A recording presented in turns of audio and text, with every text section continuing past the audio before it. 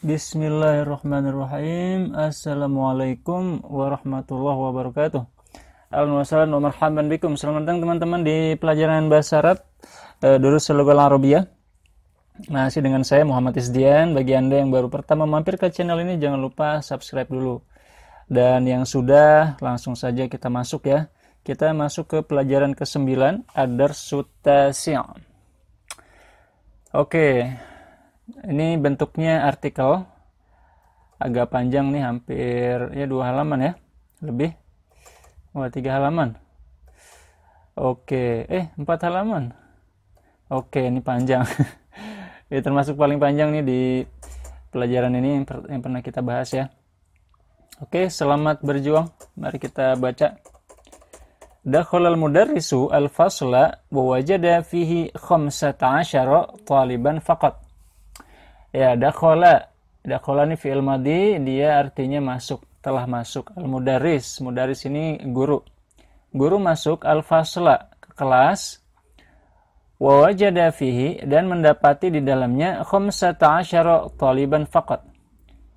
Dan dia mendapati ya, wajada, menjata wajada, barang siapa dapat ya, barang siapa bersungguh-sungguh dapat. Wajada, dan dia mendapatkan fihi di dalam kelas itu khamsata asyara taliban faqat 15 siswa saja. Fakot saja ya. Nah, khamsat asyara taliban. Nah, ini dalam bahasa Arab e, kalau angka bentuknya bagian akhirnya selalu diharokatnya mansub gini, taliban.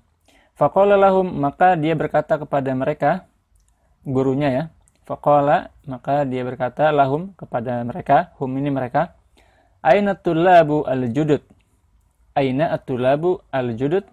Al-khamsah Aina di mana atulab para siswa al-judud yang baru. Al-khamsah yang jumlahnya lima. Alladzina ja'u amsi. Alladzina yang, ini untuk jamak ya, karena mereka ada lima, yang ja'u amsi. Mereka datang kemarin. Qala Abdullah. Abdullah berkata, Hadaru. Nah, hadaru ini adalah bentuk kata kerja masa lampau untuk mereka banyak ya. Untuk orang ketiga banyak orang ketiga jamak atau mereka. Jadi pakainya hadoru ditambahkan waw dan alif. Hadoru al yauma hari ini mereka hadat hadir hari ini wa kharaju qabla qalilin. Wa kharaju dan mereka keluar qabla qalilin. Sebelum sedikit. Ini maksudnya beberapa waktu yang lalu ya. Beberapa saat yang lalu. Qabla qalil. Ini maksudnya sebelum waktu yang sedikit. Artinya dia keluar, mereka keluar beberapa waktu lalu, tidak lama yang lalu ya, tidak se, tidak beberapa waktu gimana ya, tidak lama sebelum ini gitu ya. Khoroju qabla qolil mereka telah keluar beberapa saat yang lalu. Azunnu eh, aku menyangka annahum zahabu ilal mudir. Aku menyangka annahum bahwa mereka zahabu ilal mudir. Mereka telah pergi ke direktur. Ya, direktur ini bahasa Arabnya al-mudir. Nah, zahabu kata kerja masa lampau juga pelakunya mereka maka ditambahkan waw dan alif. Harusnya zahaba ya kalau satu orang, kalau untuk jamak zahabu. Azunnu aku menyangka annahum bahwa mereka telah pergi zahabu ilal mudir ke, menuju ke direktur. Oke, lanjut ya. Raja'atul labul khamsatu ba'da qalilin. Raja'a kembali atulab al khamsa lima siswa itu. Atulab ini jamak dari talib artinya siswa. Atulab ini dia bentuk jamak. Al khomsah yang jumlahnya lima. Nah, jum, siswa yang jumlahnya lima itu telah kembali ba'da qalilin. Nah, setelah beberapa saat.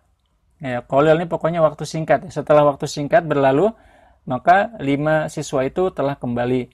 Faqala lahumul mudaris maka berkata kepada mereka sang guru Nah, al mudaris. Al bisa kita artikan sang, ya. Maka berkata kepada mereka sang guru atau guru itu berkata kepada mereka, fa ini maka ya. Hum ini mereka, la ini kepada ya untuk maka sang guru berkata kepada mereka, Ailal mudir, apakah kepada uh, direktur? Zahabtum ya abnai, kalian telah pergi. Nah, zahabtum. Tum ini kembali ke kalian ya Apakah kepada mudir kalian ke, kalian pergi? Ya abnai wahai anak-anakku. Nah, abna ini jamak dari ibnun artinya anak. Nah, karena abna maka artinya anak-anak wahai anak-anakku ya abnai. Qalu na'am. Mereka berkata, iya, na'am. Zahabna ilaihi li'annana ma wajadna asma'ana. Zahabna ilaihi artinya kami pergi, ya, kami telah pergi. Ini bentuk kerja masa lampau. Nanya kembali ke kita ya. Kita telah pergi ilaihi kepadanya, kepada mudir. Li'annana karena kita ma wajadna asma'ana fi al-qaimah karena kita tidak mendapatkan nama-nama kita di dalam daftar. Nah, al-qaimah artinya daftar. Daftar nama maksudnya ya. Tidak ada di absen. Nah.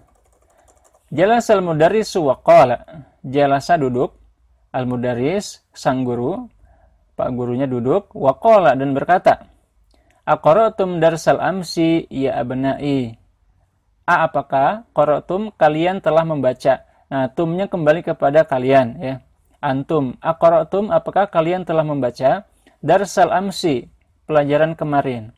Ya abna'i wahai anak-anakku. Qala at-tullab. Berkatalah para siswa. Nah, jadi Anda perhatikan ya kalau dia fi'il madinya di depan, dia pakainya bentuknya tidak jamak tetapi satuan ya. Tapi kalau dia diletakkan setelah pelaku, maka dia menggunakan kolu menggunakan bentuk jamak. Maka ini boleh nih, walaupun dia bentuknya mufrad ya satuan, setelahnya pelakunya jamak ini boleh ya, karena fi'il madinya di depan. Qalatul labu berkatalah para siswa, "Na'am, iya. Qara'nahu kami sudah membacanya." Nah, ini hu-nya kembali ke nya ya, ke buku itu. Qara'na kami telah membaca, wa katabnahu dan kami telah menulisnya. Wa hafiznahu dan kami telah menghafalnya. Nah, ini semua bentuk kerja masa lampau. Qala al-mudarris Pak guru itu berkata, "Afahimtumuhu?" A apakah fahimtum kalian telah paham? Nah, fahima yafhamu artinya paham karena ada tum jadi artinya kalian telah paham. Hu ini kembali kepada dia pelajaran itu. Apakah kalian telah memahami pelajaran itu? Maka para siswa menjawab, "Na'am, iya, fahimnahu jayidan." kami telah memahaminya dengan baik. Ma'ashala hazat darsa. Nah, ma'ashala ini artinya betapa mudahnya.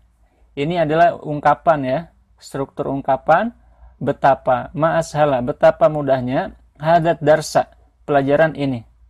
Oke. Okay. Qala Abdurrahman, Abdurrahman berkata, "Ana ma fahimtu fihi salasa kalimatin." ana ma fahimtu fihi salasa kalimatin aku tidak paham ya, fahim tu ya ma fahim tu aku tidak maknanya tidak fahim tu paham aku tidak paham fihi di dalam pelajaran itu salasa kalimat tiga kata kolal mudaris sang guru berkata mahia apakah itu? Qala Abdurrahman maka Abdurrahman berkata Qara'na fid darsi hazihil jumlah. Qara'na kami telah membaca fil darsi di dalam pelajaran hazil jumlah kalimat ini. Ada jaddi minal khurtum. Ada jaddi minal khurtum. Ada kembali jaddi pamanku min dari al khurtum al khurtum ini kalau secara makna artinya adalah belalai tetapi khurtum ini nama kota yang ada di Sudan ya Fama makna hazil kalimat as-salas fa maka ma apakah makna arti hazil kalimat dari kalimat-kalimat ini. Nah, kalimat itu dalam bahasa Arab artinya kata ya. Maka dia mengatakan apa makna kata-kata ini. Asalas yang tiga.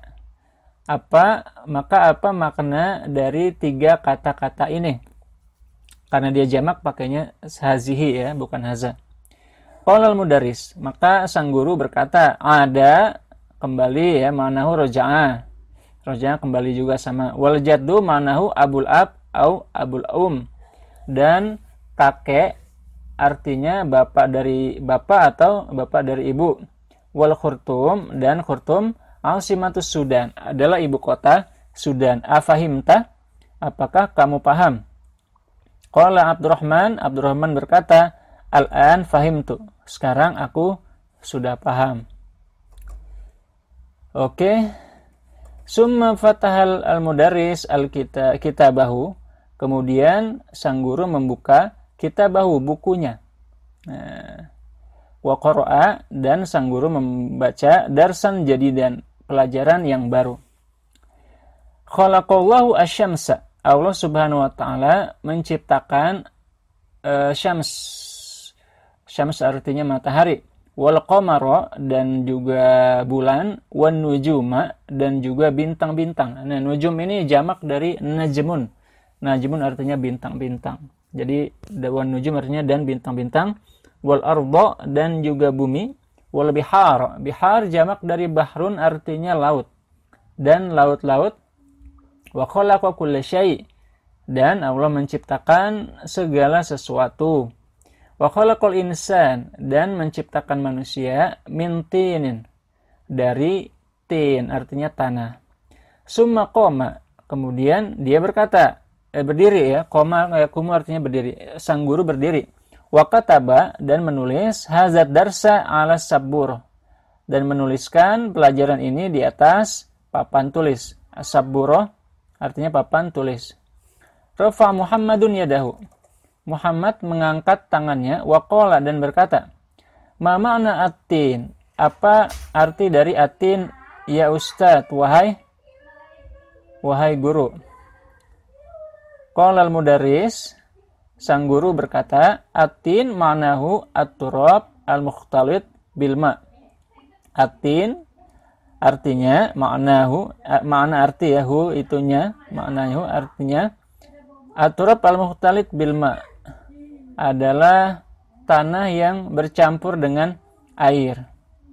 Warofa Faisal yadahu dan Faisal mengangkat tangannya. Rofa mengangkat ya yadahu tangannya Faqala lahu dan berkata kepadanya Al-Mudaris sang guru berkata kepadanya A indaka su'alun. Apakah kamu punya? Nah, indaka kamu punya. Kalau indi aku punya. Indahu dia punya. Apakah Anda punya? Kamu punya soal ya Faisal. Punya pertanyaan wahai Faisal. Kalau Faisal, Faisal berkata, "Na'am, iya." Indi soal. Saya punya pertanyaan. Al-biharu jamul bahri al-bihar atau laut-laut ini jamak dari bahar ya sudah saya uh, sebutkan tadi ya. Qala al-mudarris sang guru berkata, "Na'am huwa kazalik." Iya, dia seperti itu. Qamal Hasan wa qala. Kemudian Hasan berdiri dan berkata, "Ma jam'us sama ya Ustaz?" Apakah jamak dari kata as-sama? Atau langit ya? Ya Ustaz, wahai guru. Qala mudaris, sang guru berkata, jamuha samawat. Jamaknya adalah samawat. Summa sa'alal mudaris atulab iddata as'ilah. Kemudian sang guru bertanya. Nah, jadi dalam bahasa Arab strukturnya itu kata kerja dulu baru pelaku ya.